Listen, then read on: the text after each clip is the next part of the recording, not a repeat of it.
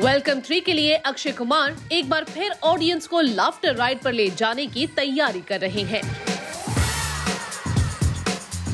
Makers ने film का official title भी रिवील कर दिया है, जो है welcome to the jungle yes you heard it right Nana Patekar और अनिल कपूर की फ़िल्म से क्यों हो गई है छुट्टी?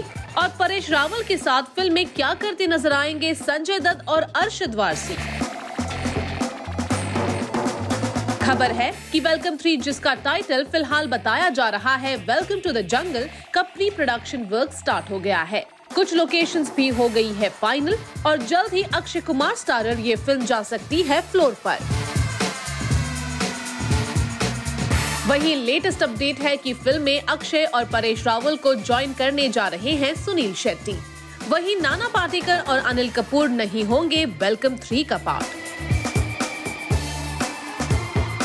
ऐसे में सवाल ये उठता है कि क्या सुनील शेट्टी, येड़ा, अन्ना प्ले करने जा रहे हैं और फिर उनका रोल होगा हेरा फेरी से इंस्पायर्ड तो बता दें कि सुनील शेट्टी का रोल है बिल्कुल अलग और फ़िलहाल अंडर रैप्स ही रखा जा रहा है।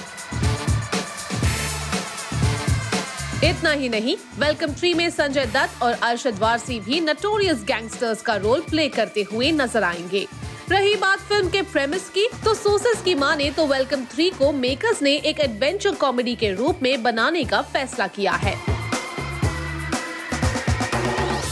मतलब इतना तो तय है कि मेकर्स ने इस बार वेलकम और वेलकम बैक से आगे जाकर ऑडियंस को एंटरटेन करने का प्लान बनाया है। Akshay Kumar starrer welcome to the jungle के बाकी डिटेल्स की बात करें तो इस फ़िल्म को प्रोड्यूस करने जा रहे हैं साजिद नाडियाडवाला तो वही फ़िल्म के डायरेक्टर होंगे अहमद खान। अक्षय कुमार के जॉली एलएलबी की शूटिंग कंप्लीट करते ही वेलकम थ्री फ्लोर पर चली जाएगी। लेकिन फ़िल्म की रिलीज़ के लिए फैंस को करना होगा 2024 की क्रिसमस का इंतज़ार।